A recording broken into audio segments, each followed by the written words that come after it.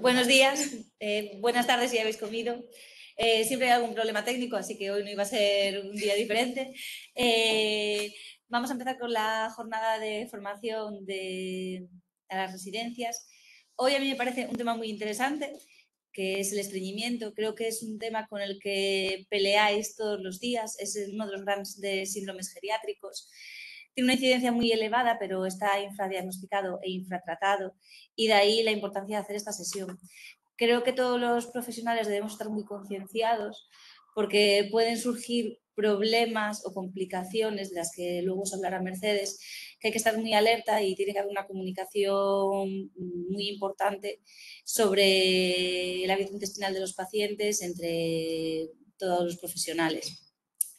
Em, bueno, creo que sobre todo mm, el tratamiento es muy importante, pero hay otras medidas de las que también va a hablar Mercedes que debéis tener en cuenta, sobre todo en pacientes frágiles. Y bueno, espero que sea útil y luego las dudas que os surjan, que seguro que serán muchas, las resolveremos sin problema.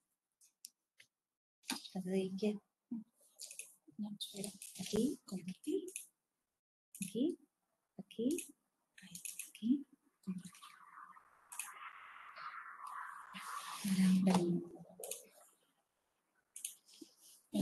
Eh, buenas tardes o buenos días a todos. Creo que la mayoría ya me conocéis por otras formaciones. Soy Mercedes Domínguez, soy la enfermera de la unidad de coordinación de residencias de aquí del área de Coruña y como os comentaba Laura, vamos a hablar hoy de un tema muy importante en nuestro día a día, que es el estreñimiento abordaremos un poquito qué es el estreñimiento, ¿vale? Y también todas las medidas y cuidados para realizar con nuestros usuarios, así como el maravilloso mundo de los laxantes de una manera muy resumida.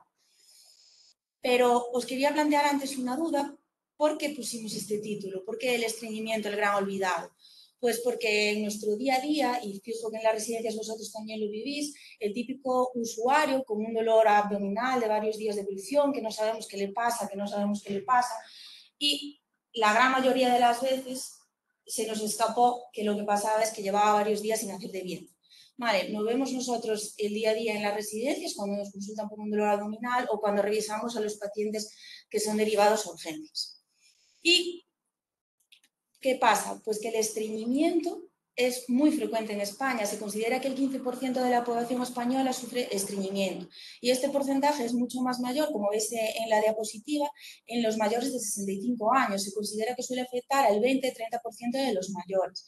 Y si aumentamos más la edad, el porcentaje aumenta. En mayores de 85 años afecta a más de la mitad.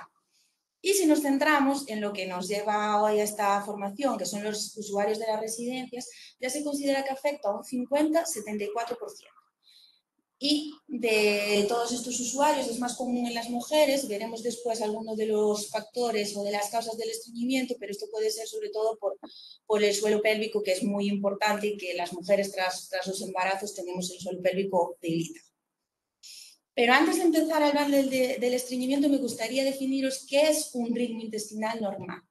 Vale, para que todos sepáis, la defecación es siempre algo voluntario, en el que influye el suelo pélvico, los músculos abdominales y diferentes estructuras sensitivas de nuestro organismo. Eh, las heces, de manera normal, tienen que tener una consistencia sólida o similar y no pueden contener restos alimenticios que no estén digeridos. Vale, eso sería patológico. Y en cuanto a la frecuencia, la edad de posición, lo que se considera normal eh, tiene unos márgenes muy, muy grandes, ¿vale? Se considera normal o tres deposiciones al día como máximo o hasta tres deposiciones a la semana, ¿vale? Puede haber una persona que haga tres deposiciones al día y su bien intestinal es normal y otra que solo haga tres deposiciones a la semana cada 48, años, cada 48 horas y su deposición sea normal. Bien, una vez definido esto, vamos a entrar en el estreñimiento. Como os contaba Laura, el estreñimiento es un síndrome geriátrico. No es una enfermedad, ¿vale? sino que es un síntoma. Es un síntoma en el cual se produce un trastorno en nuestro hábito intestinal. Lo podemos medir por diferentes eh, características objetivas. Por ejemplo, que disminuya el número de defecaciones, menos de tres deposiciones a la semana. O porque estás mal. Si me escuchasteis ya ya estaba. Eh, estábamos definiendo un poco qué es el estreñimiento. Os decía que lo podemos medir por un descenso en el número de deposiciones, menos de tres deposiciones a la semana. También lo podemos definir por deposiciones escasas, con menos de 35 gramos, o por un aumento de la consistencia, es decir, que las heces tengan muy poca concentración de agua. Vale, una concentración acuosa de las heces por debajo del 75%. Y sobre todo, que es lo más común, que siempre nos solemos fijar, es la frecuencia de las deposiciones. Consideramos estreñimiento cuando una persona tarda, eh, hay una diferencia entre dos deposiciones entre 48 y 72 horas.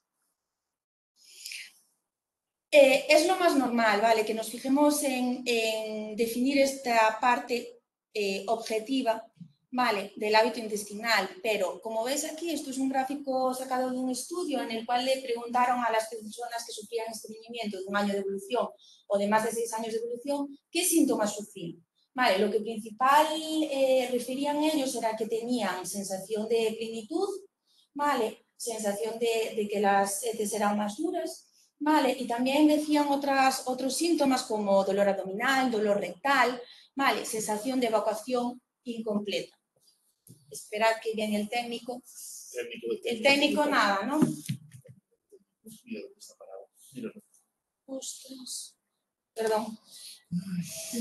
Pero lo hacemos así, si quieres. Si va así, si la pantalla completa, lo ampliamos un poquito. La pantalla con toda la pantalla. ¿Sabes? porque si no quiero, tiene que verse. Vale, y ahora ponemos esta. Vale. Y lo ponemos a ver. La pantalla completa. También. sí, ya está. perfecto. Vale, eh, no voy a recapitular, ¿vale? Os estaba comentando en que hay diversos estudios que, como el que ves en la imagen, que nos preguntaban, que preguntaban a las personas qué síntomas se sufrían cuando tenían estreñimiento y que no solo referían que, no hacían de vientre, sino que referían otros síntomas que son un poco más objetivos, como son el dolor, el dolor abdominal, el dolor rectal, la sensación de evacuación incompleta. Por eso las, las, guías actuales recomiendan que ya no tenemos que abordar solo esta parte eh, objetiva del estreñimiento, sino que nos tendríamos que centrar también en esta parte más subjetiva. Así no deberíamos de preguntar a una persona directamente si está estreñida, sino que deberíamos de cambiar un poco la forma de, preguntar y preguntar si está satisfecho con su hábito intestinal. Vale, es muy importante porque puede ser que una persona sí que haga de bien todos los días, pero tenga aún esa sensación de plenitud, dolor abdominal y no esté satisfecho con su hábito intestinal. Y así nos lo dicen las guías, ¿vale? Esto solo para que, que, os suene, que son los criterios Roma que siguen la Sociedad de Digestivo para diagnosticar diversas patologías y diversas sintomatologías. Y en cuanto al estreñimiento, estos criterios Roma ya incluyen esta sensación de evacuación incompleta, esta sensación de obstrucción, este esfuerzo excesivo. ¿Vale? No solo se centra en la frecuencia y la consistencia de las deposiciones, que también van a ser algo fundamental. Tipos de estreñimientos, para que os suenen. Consideramos que un estreñimiento es agudo cuando dura entre tres, menos de 3-6 meses y cuando ya se prolonga más de 6 meses hablamos de estreñimiento crónico. En cuanto a su causa, lo podemos cualificar como estreñimiento idiopático o primario cuando no conocemos su causa o estreñimiento secundario a una enfermedad o un fármaco que vamos a ver eh, posteriormente cuáles pueden ser. Y muy importante el que aparece en la parte inferior, que es, el estreñimiento subjetivo. Se considera que una persona sufre estreñimiento subjetivo cuando cree que tiene la necesidad de hacer una deposición todos los días. Esta creencia, la mayoría de las veces, va a llevar a un consumo de laxantes, muchas veces sin prescripción y sin control médica, ¿vale? para garantizar esta deposición diaria. ¿Vale? Acordaros en esa frecuencia de deposiciones que hablamos al principio, ¿vale? Que es normal, que hay gente que hace tres deposiciones diarias, es normal, y hay gente que hace tres deposiciones a la semana y también es normal, ¿vale? ¿Y por qué se produce? Eh, de diversos estudios que valoran el estreñimiento, me voy a centrar sobre todo en el paciente anciano, eh, definen que podemos decir con esta regla, las reglas de las 10 Ds por, por el nombre en inglés, estas nos van a definir la causa del estreñimiento en el anciano. ¿Qué os me gustaría resaltaros de aquí? Eh, una triada que puede ser la deshidratación, que muchos de nuestros usuarios beben muy poquito, ¿vale? muchos tienen una movilidad reducida, que es algo fundamental, ¿vale? porque así disminuye, cuando no nos movemos va a disminuir nuestra motilidad intestinal y nuestra fuerza abdominal para defecar, ¿vale? Comen poquito, Y sufren diferentes enfermedades como la depresión y la demencia, que también son causas que pueden producir estreñimiento, además de otras enfermedades neurodegenerativas, como puede ser el Parkinson, etc. Y en el primer eslabón tenemos los fármacos, ¿vale? No vamos a dar una clase magistral de fármacos, pero sí que hay muchos fármacos que pueden producir el estreñimiento. Los que más podéis contactar con ellos y que os suenan son los opiáceos, que todos sabemos que producen estreñimientos, la levodopa y el hierro, o algunos antidepresivos y anticolinérgicos. Que es algo que siempre deberíamos de analizar qué fármacos toma o no toma la persona. ¿Y qué pasa con el estreñimiento? El problema del estreñimiento no es solo cómo se siente la persona, sino las diferentes complicaciones que vamos a surgir a largo plazo. Muchas veces el estreñimiento es causa del prolapso de hemorroides o fisuras, que al mismo tiempo pueden ser provocadas por el estreñimiento o pueden ser la causa de un estreñimiento. Muchas veces una persona evita hacer de vientre porque siente dolor por las hemorroides o por las fisuras. El esfuerzo excesivo que hacemos al, al defecar puede provocar estas hemorroides, estas fisuras, y también puede provocar otras cosas como arritmias, síncopes por activación vasovagal. Pero la principal complicación que quiero que, recordéis es la impactación fecal, es ese fecaloma. May, eh, creo que a todos os suena, el fecaloma no es más que un acúmulo de heces, sobre todo en la polla rectal, aunque puede producirse en otras partes del intestino. Son heces muy duras, con poca cantidad de agua, ¿vale? que va a ser muy complicado eh, eh, que muchas veces van a necesitar o laxantes o enemas o una extracción manual en la mayoría de los casos. Además, cuando se produce este fecaloma, podemos, eh, puede ocurrir que se produzca una diarrea por una diarrea, ¿vale? una pseudodiarrea, que no es más que hay una parte en el intestino que tenemos un fecaloma y por la parte proximal hay heces con más cantidad de agua que se van colando por el intestino y tenemos una pequeñita diarrea que pensamos que el estreñimiento está resuelto y no, lo que tenemos es una impactación fecal con una pseudodiarrea, ¿vale? que, que os suene. ¿Y qué vamos a hacer con las personas que sufren estreñimiento? Muy importante es la valoración cuando ingresan en la residencia y el seguimiento diario. Vamos a tener dos tipos de pacientes, el paciente totalmente autónomo, el usuario que ingresa en la residencia, que no sabe decir si hace o no hace de vientre y cómo es la consistencia de sus heces. Eso es muy fácil, ¿vale? Es muy fácil gestionar, gestionar un estreñimiento y tratarlo. El problema lo vamos a tener con esa persona con un deterioro cognitivo, esa persona dependiente, en la que no podemos preguntarle si está satisfecho con, con su hábito intestinal. Vale, la mayoría de los casos, muchas veces, el estreñimiento pasa inadvertido y vamos a diagnosticar o empezar a tratar el estreñimiento cuando aparecen estas complicaciones, cuando aparecen estos fecalomas en la mayoría de los casos.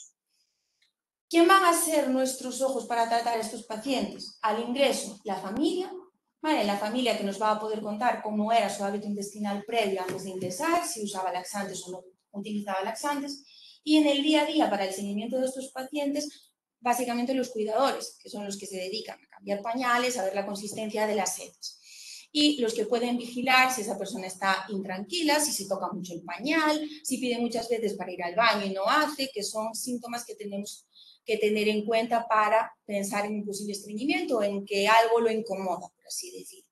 Pero eso, son los pacientes más difíciles de tratar.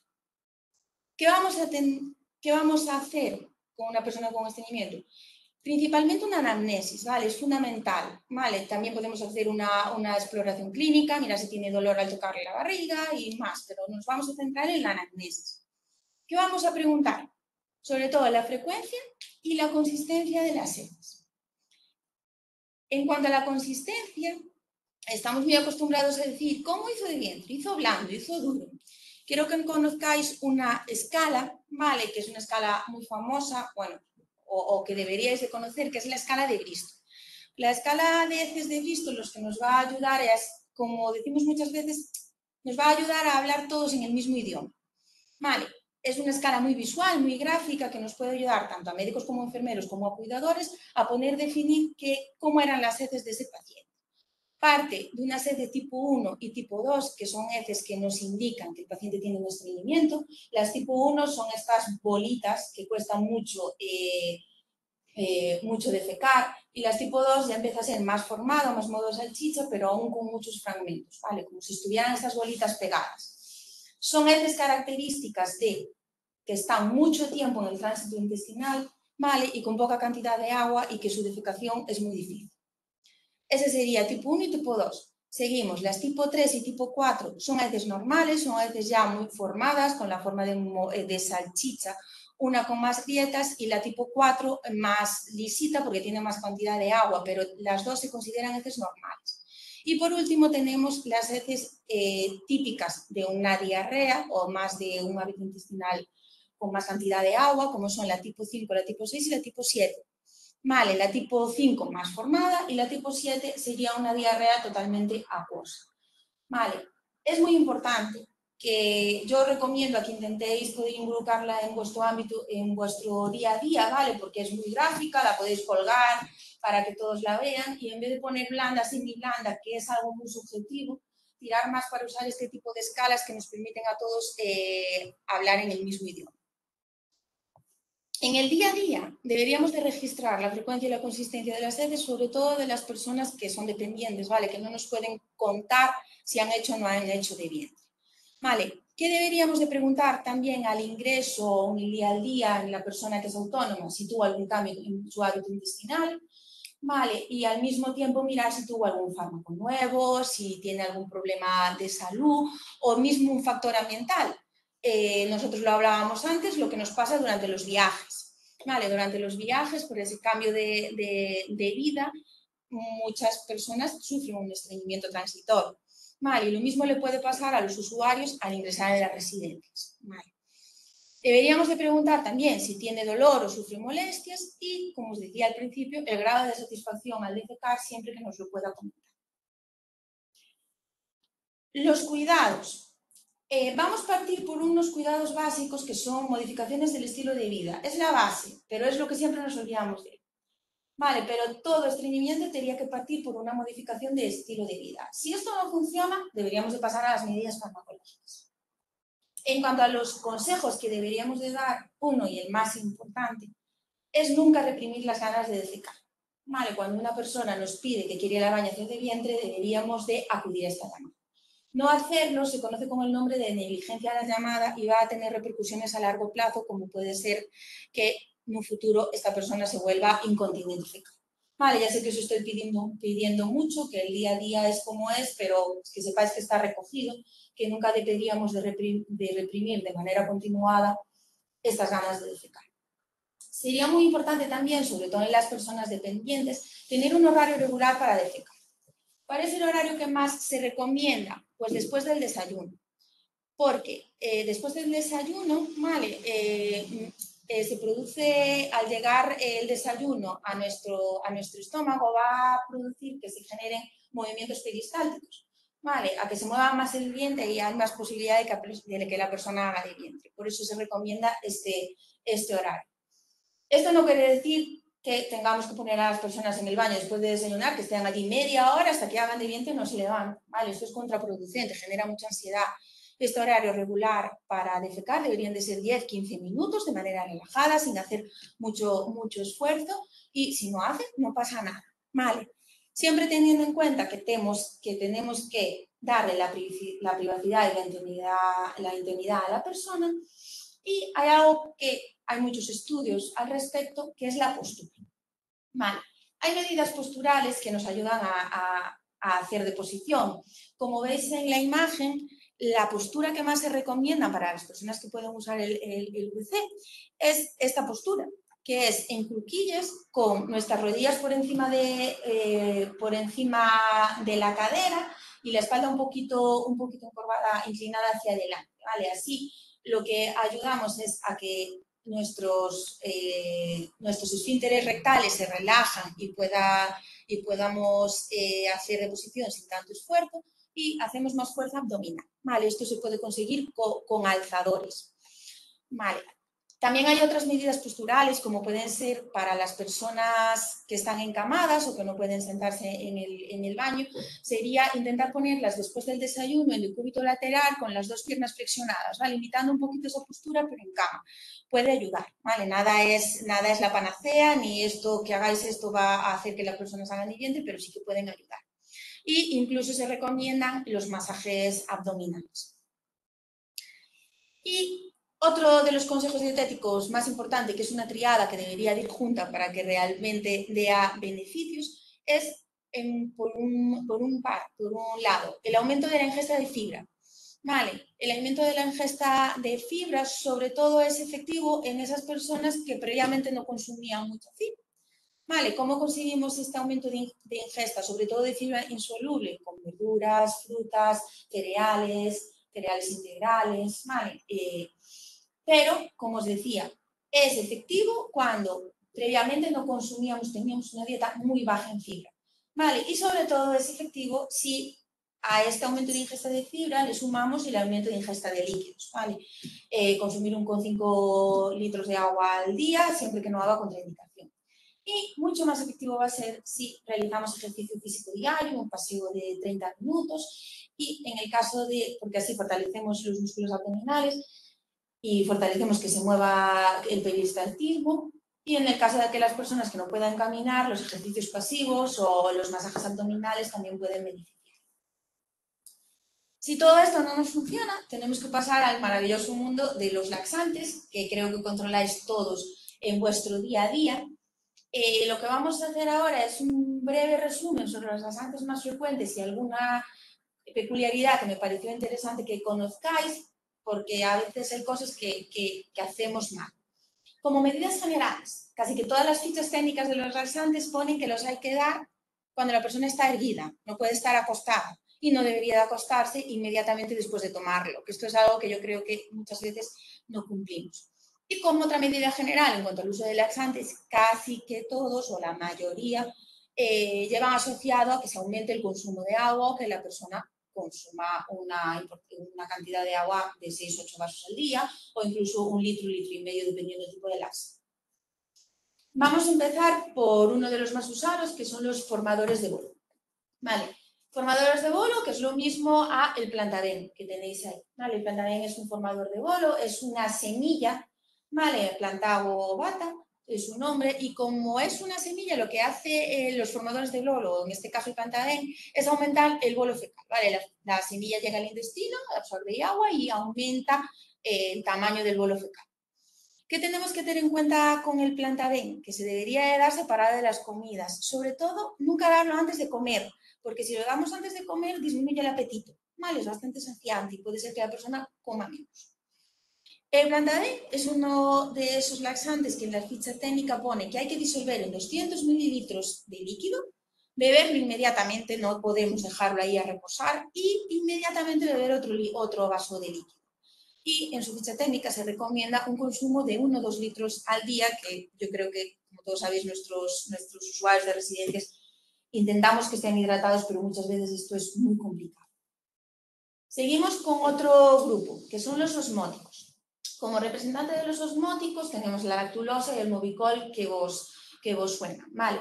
No tienen el mismo mecanismo de acción, pero básicamente que suenen que tanto la lactulosa como el movicol lo que van a hacer es atraer agua. Atraer agua a la dulce intestinal y así poder conseguir que, que la persona haga deposición.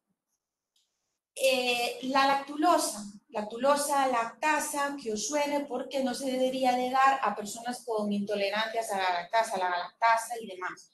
Eso es mucho complicado. Ahora no hay muchas personas así, pero en un futuro hay muchas personas que ya no toman lactasa porque les sienta mal y, demás. ¿Y qué tenemos que tener en cuenta más de la lactulosa? La lactulosa llega a integrar al tracto intestinal y allí la degradan las bacterias intestinales. Y en esta degradación lo que puede provocar es mucha, mucha distensión abdominal y molestias abdominales. ¿vale? Es un efecto secundario bastante frecuente. Y por otra parte, vamos a tener el movicol. El Movicol no se debería usar de manera crónica, aunque en algunas, eh, en algunas patologías o cuando se usa algún fármaco, como puede ser eh, los pacientes como Parkinson o con el uso de opioides, sí que se utiliza de manera más, más crónica. Vale. Del Movicol, resaltaros sobre todo que se debería de separar de fármacos. Sobre todo está descrito que con antipilépticos puede inhibir un poquito su acción. Vale, así que deberíamos de tomarlos separados de los fármacos. Seguimos. Los emolientes o detergentes. El emuliquen, que tanto le gusta aquí a, Laura la geriatra. El emuliquen es una emulsión, ¿vale? ¿Y qué va a hacer el emuliquen? El emuliquen va a ablandar la consistencia del bolo fecal. Por así decirlo, va a provocar como una capita que le ayude a que se deslicen las heces y pueda, y pueda, y pueda defecar la persona. Y asimismo esta capita va a conseguir que, nos, que del bolo no, de la deposición, nuestro intestino no absorba más esa agua. Vale, va a tener estas dos acciones. Eh, consideraciones de nebulitis. Lo tenemos que separar de algunos fármacos, como algún anticoagulante, y también de la comida, porque puede inhibir la absorción de ciertas vitaminas. Vale. Y algo muy importante que sí que, que, creo que muchas veces nos eh, olvidamos, el hemolíquido es una emulsión de una grasa y un líquido. Vienen esos, la mayoría de las veces lo prescribimos en ese sobres de unidosis y antes de abrir ese sobre hay que homogenizar, ¿vale? Para juntar esa grasa de, esa agua ¿vale? Eh, apretar bien por, todo el sobre para que se junte, diluirlo eh, en, agua y tomarlo, ¿vale? Hay que diluirlo en un vasito de agua, un medio vasito de agua, no se puede tomar directamente del sobre, ¿vale? Muy importante. Por último, eh, hay otro tipo de laxantes que son los estimulantes o drásticos, que este os suena, el ducrolaxo, el bisacodilo, lo veis muchas veces en la tele, que sale a veces, no se usa mucho en, personas mayores.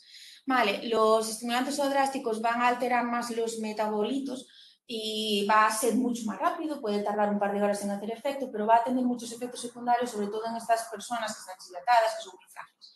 Y en personas mayores no se, no se suelen, no se suelen.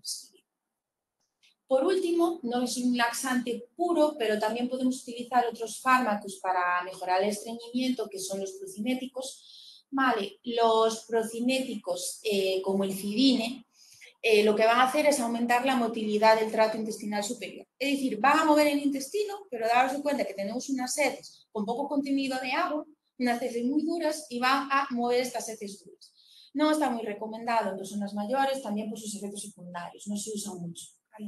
Y también porque tienen efectos eh, parkinsonianos, ¿vale? y movimientos así que no son muy beneficiosos. Por último, me parece muy interesante haceros un pequeño resumen de si podemos usar o no estos, estos laxantes, los más utilizados, con espesantes o con alimentos. Vale, el plantadén, como ya os comenté, sí que se puede utilizar con alimentos, pero recordar, nunca antes de la comida porque va a disminuir el apetito. Vale, el emulique, ya os dije antes que algunos alimentos no se puede dar con algunos fármacos y alimentos porque eh, pueden interactuar y sobre todo disminuye la, absorción de diversas eh, vitaminas. Y en cuanto a los espesantes, eh, sobre todo resaltaros, que yo creo que os puede sonar, que es el Movicol. Vale, el Movicol no se puede usar con espesantes. El Movicol tiene un compuesto que es el macro, macrogol, vale, que el macrogol va a inhibir el efecto de los espesantes en base de almidón.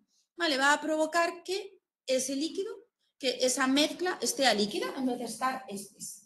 ¿vale? con el riesgo que puede tener de una, de una aspiración para, para, nuestros usuarios. Recomendación, cuando hagamos muestras, cuando hagamos mezclas, lo primero que tendríamos que hacer es revisar si eso se puede hacer o no, si eso se puede eh, mezclar con espesantes y antes de administrar nada, revisar que la textura sea la conveniente para esa persona.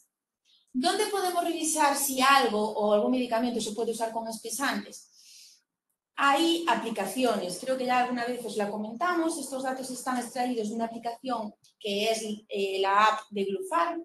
Vale, en esta aplicación que podéis escanear el código QR o poner de en cualquier, en eh, en cualquier buscador de aplicaciones, aquí ponéis el nombre del fármaco, el nombre del laxante, por si yo me he olvidado alguno que utilicéis en vuestro día a día, y ahí os pone si se puede administrar como espesante, si no se puede administrar como espesante y todo lo que queráis saber. Vale, es muy fácil de usar.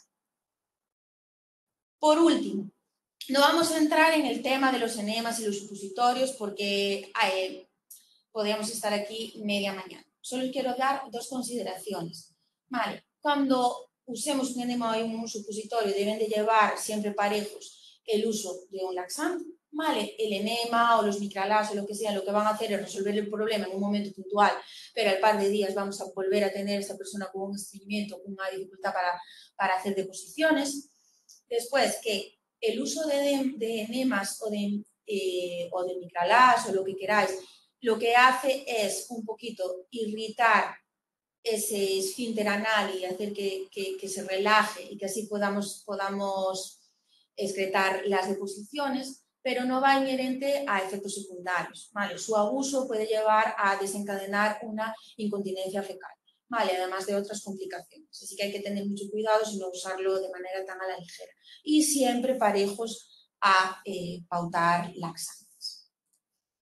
Y nada, por último, como conclusión de la sesión, me gustaría recordaros que es muy importante esa valoración inicial y controlar al usuario los primeros días en la residencia, ¿vale? controlar su, su, hábito intestinal, que es muy importante el registro de las deposiciones, tanto de la frecuencia de las deposiciones como de la consistencia, acordaros de esa escala de Bristol que es muy, muy útil, sobre todo en las personas que tienen un deterioro cognitivo o que no nos pueden referir si han hecho o no han hecho de vientre. Y recordar que deberíamos de revisar si estamos eh, administrando los laxantes de una manera correcta. ¿Vale? que es importante para que sean efectivos. Eh, os recomiendo que si queréis profundizar un poco más en el tema, tenemos la Sociedad Española de Geriatría y Gerontología, tiene guías de casi todo muy interesantes, esto es una guía del, del estreñimiento, ¿vale? que si queréis consultar está muy bien, es fácil de leer. Y bueno, con esta imagen que me gustaría que no os olvidéis de que todo el mundo que quiera hacer sus deposiciones debería, si quiere ir al baño, debería ir al baño, que nadie continente debería hacer sus deposiciones ni orinar en un pañal, vale, que no es inhumano, me despido y quedo pendiente por si tenéis algún tipo de, de pregunta. Muchas gracias. Gracias Mercedes. Yo creo que has tocado mm, de manera muy adecuada el tema. Creo que eh, la visión general de este tema era necesaria y yo solo puntualizar que respecto a los tratamientos es cierto que ocurre un poco como las alteraciones psicoconductuales y los neurolépticos.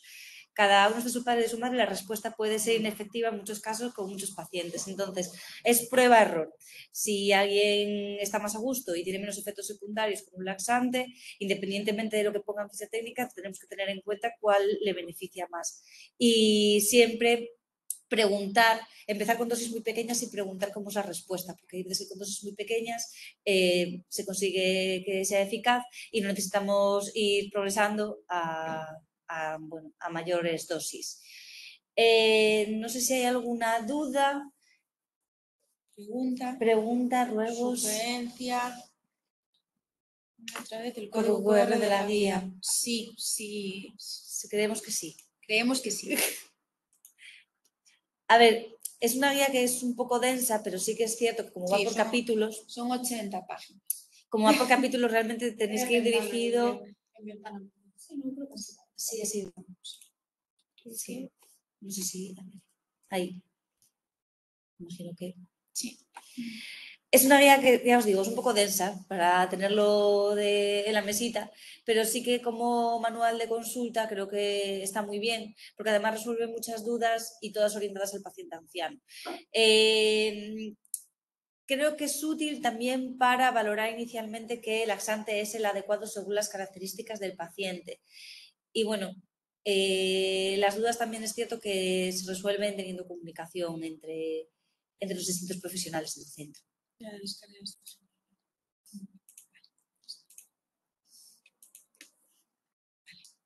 Está genial. Sí.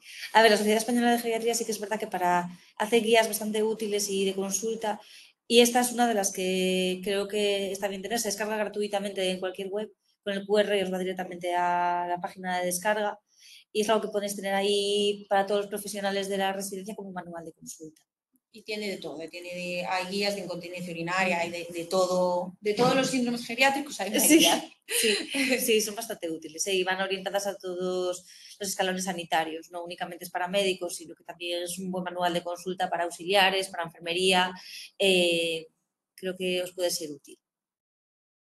No sé si tenéis más dudas.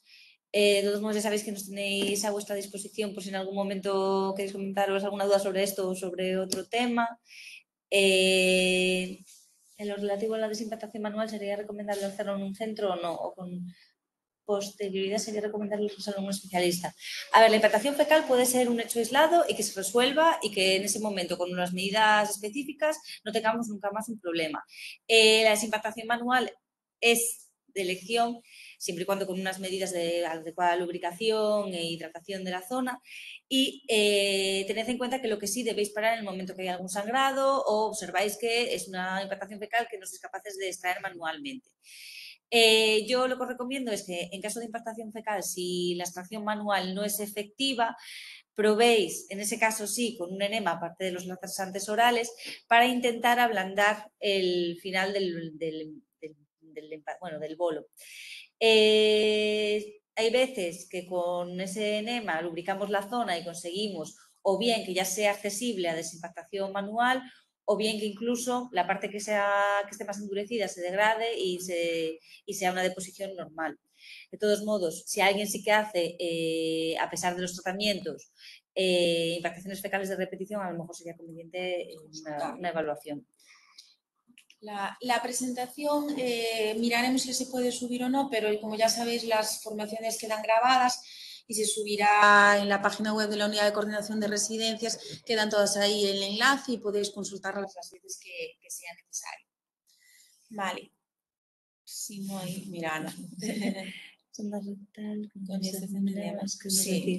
A ver, sí, sí que se usa, sí que se usa sobre todo para las impactaciones más complejas.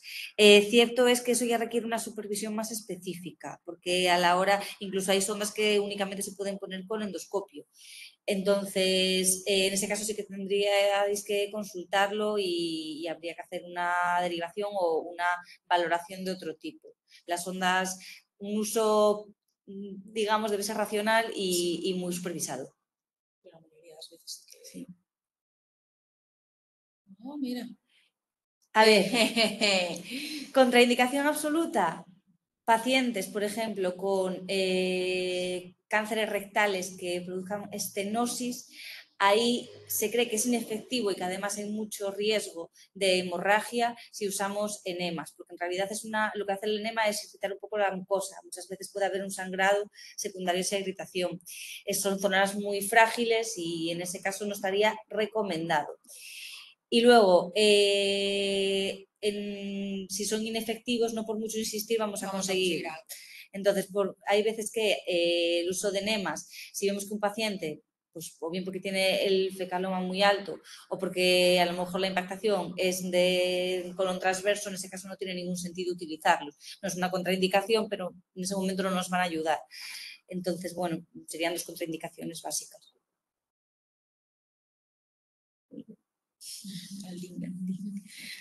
Bueno, pues Cualquier duda, de todos modos, nos podéis consultar en cualquier momento a través del email y la próxima sesión será de movilizaciones eh, en el paciente anciano, de cómo hacer las transferencias, nos las darán dos la deambulación, la deambulación, cómo ayudar a caminar, y nos la darán dos fisioterapeutas de una de las residencias del área y bueno, eh, os informaremos de la fecha y el horario para que estéis pendientes. Gracias a vosotros. Chao.